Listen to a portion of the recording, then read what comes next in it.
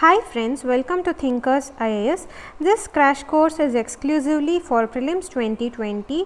You can revise the entire environment and ecology current affairs for prelims 2020 in just 80 page PDF study material. So please download the PDF study material. The link is provided in the description box below. Let's begin with Montreal Protocol 1987. Vienna Convention was made to protect the ozone layer in 1987. Montreal Protocol is a part of Vienna Convention 1985 to protect ozone layer adopted in 1987.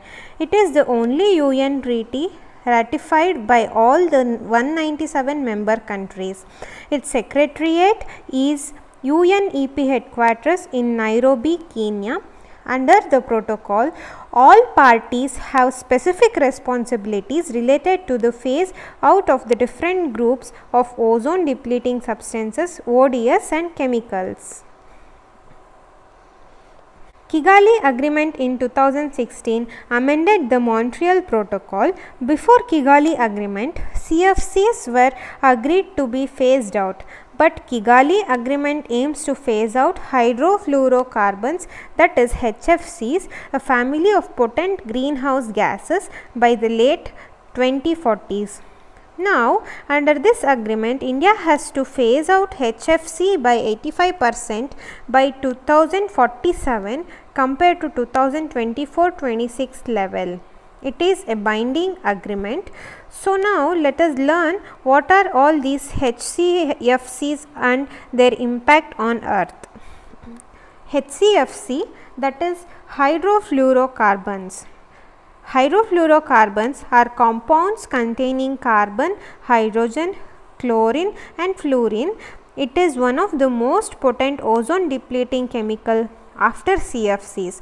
There, they are also potent greenhouse gases. So, this is important. They are both ozone depleting substances and also greenhouse gases. 2000 times more potent than carbon dioxide in terms of its global warming potential GWP. India achieved complete phase out of C HCFC 141. Characteristics they are less stable than CFCs. They have shorter atmospheric lifetimes than CFCs and they deliver less reactive chlorine to the stratosphere and these are volatile organic compounds that is VOCs.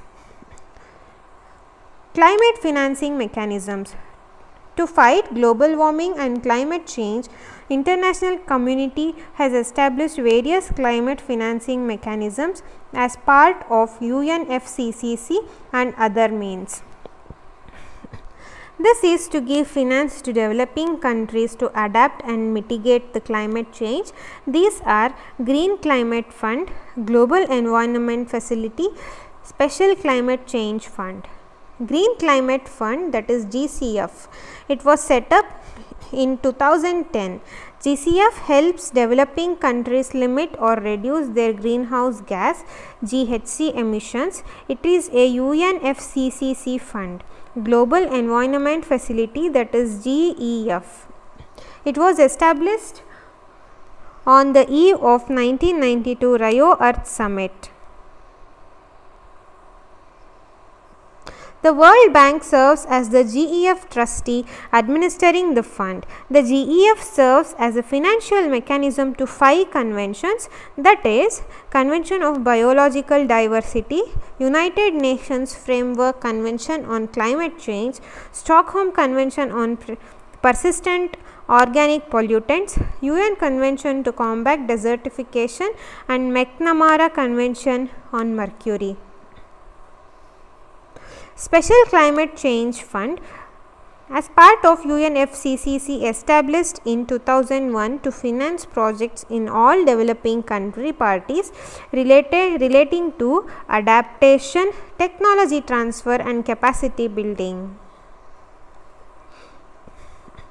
Migratory birds die in Sambhar Lake, Rajasthan due to avian botulism. It is caused by a bacterium called Clostridium botulinum. It affects the nervous system of birds leading to flaccid paralysis in their legs, wings and neck. These are anaerobic bacteria which multiply in reduced oxygen level. Biological oxygen demand in the lake is too high is the reason for avian botulism in Sambhar lake. IUCN and IUCN Red List criteria. IUCN categorizes species into different categories based on their survival status. There are 7 categories. These are explained below. Species are categorized based on the following criteria. Extinct, last individual has died, extinct in the wild survive only in captivity, critically endangered, that is extremely high risk of extinction. 80 to 90 percent decline in population over the previous 10 years or 3 generations whichever is longer. A current population size of fewer than 50 individuals. Endangered that is very high risk of extinction 50 to 70 percent decline in population over previous 10 years or 3 generations. A current population size of fewer than 250 individuals. Vulnerable very high risk of extinction 30 to 50 percent decline in population over the previous 10 years or 3 generations. A current population size of fewer than 1000 individuals or other factors. And next one is near threatened close to becoming threatened or may meet the criteria for threatened status in the near future. Least concern that is no threat, data deficient, data not sufficiently collected, not evaluated. A category used to include any of the species described by science but not assessed by the IUCN. Recent changes in IUCN Red List. These entries are recently changed since their conservation status have been changed. Pygmy hog status changed from critically, critically endangered to endangered. Kondana rat status changed from critically endangered to endangered. Forest owlet status changed from critically endangered to endangered. Sispara day gecko status changed from critically endangered to near threatened. Leatherback turtle status changed from critically endangered to vulnerable. Knife tooth sawfish status changed from critically endangered to endangered. 3% Club was launched. It is a new coalition of countries, businesses and international organizations have committed to drive a 3% global increase in energy efficiency each year. India is also a member. C40 World Mayors Summit. This is a summit which is very unique because it is a network of 40 megacities of the world held recently in Copenhagen, Denmark. C40 is a network of the world's megacities started in 2005 representing 700 plus million citizens and one quarter of the global economy. C40 supports cities to collaborate effectively, share knowledge and drive meaningful, measurable and sustainable action on climate change. Six Indian cities are currently members of C40. They are Bengaluru, Chennai, Delhi NCT, Jaipur, Kolkata and Mumbai. UK has become the first national government to declare an environmental and climate emergency. Ireland is the second. South Asia Cooperative Environment Program SACEP 15th governing, governing council meeting was held in Dhaka, Bangladesh. It also includes the Malé Declaration on Control and Prevention of Air Pollution. Zero Carbon Law News New Zealand passed zero carbon law to combat climate change. The law aims to reduce greenhouse gas emissions to net zero by 2050. European Union launched Green Deal. According to this deal, they are committed to achieve climate neutrality by 2050 increasing emission reduce reduction by 2030 to at least 50 percent and work towards 55 percent. Climate Vulnerability Forum. It is an international partnership of countries highly vulnerable to a global warming. The forum also serves as a South-South cooperation platform. The forum has a rotating ch chairmanship between Maldives, Kiribati, Bangladesh, Costa Rica, Philippines and Ethiopia. It is important to note that these countries are island countries which are facing the risk of drowning due to climate change in general and rise in sea level in particular. Delhi is scheduled to run hydrogen CNG HCN H, that is HCNG fueled buses to curb emissions. HCNG is comparatively a clean fuel and it is blend of hydrogen and CNG, the ideal hydrogen concentration being 18 percent. Compared to conventional CNG, use of HCNG can reduce emission of carbon monoxide up to 70 percent besides enabling up to 5 percent savings in fuel. CRZ rules eased for blue flag beaches. Environment Ministry has relaxed coastal regulation zone rules that restrict construction near beaches. As per CRZ, rules no construction work is carried out near the beaches to a certain distance from coastline. Blue Flag Beach is an ecotourism model. The certification is accorded by the Denmark based Foundation for Eco for Environment Education with 33 stringent criteria under four major heads for the beaches and one that is environmental education and information,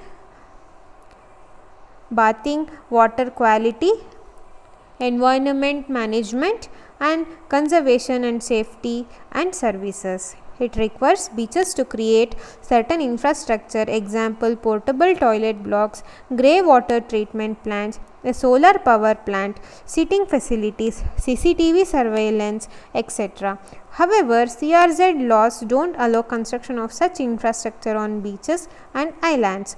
So, this lifting of ban would facilitate construction of these visitor amenities in these beaches and compete for blue flag beach certification which attract more national and international tourists to the beaches. Earlier, ministry had selected 13 beaches to compete for the certificate. Convention on the Conservation of Migratory Species of Wild Animals or Bonn Convention. This convention is for conservation of species which are migratory in nature. Recently, the 13th conference of parties to the CMS was held in Gandhinagar, India. India has officially taken over its presidency for the next 3 years till 2023. Theme Migratory species connect the planet and together we welcome them home. Special Agriculture Zone that is PSAZ. Tamil Nadu announced that the Kaveri Delta region would be declared a protected special agriculture zone to prevent implementation of oil exploration projects in the state's rice bowl.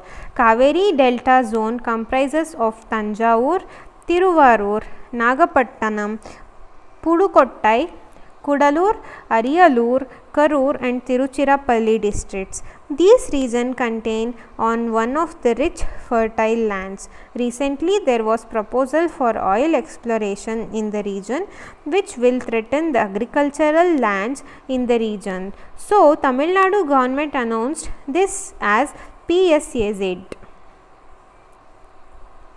Forest plus 2.0 NAED, USAID, MOEF and CC officially launched Forest Plus 2.0. Forest Plus 2.0 is 5 year program that focuses on developing tools and techniques to, blos to bolster ecosystem management and harnessing ecosystem services in forest landscape management. The Forest Plus focused on capacity building to help India participate in reducing emissions from deforestation and forest degradation. Under Forest Plus, field test innovative tools and approaches for Indian forest management were developed. Miyawaki style afforestation technique. The technique was pioneered by Japanese botanist Akira Miyawaki.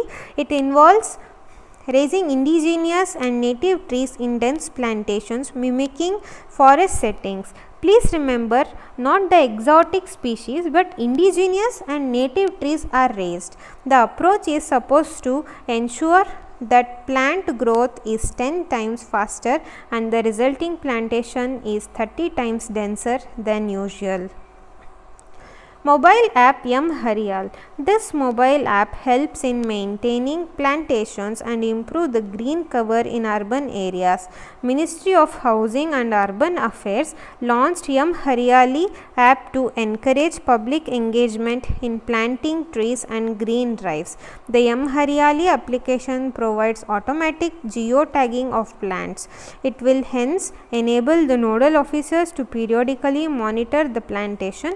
People can now upload information photos of any plantation done by them which is linked to app and will be displayed on a website. National Green Corps. It is a program of MOEF and CC. This program seeks to engage school children as green warriors. 1 lakh schools have been identified as eco clubs wherein nearly 30 lakh students are actively participating in various environment protection and conservation activities including the issues related to the air pollution. That's it for today. Please download the PDF which helps in the revision of the entire environment and ecology current affairs for prelims 2020 in just 80 pages. So please download it. The link is provided in the description box below. Happy learning.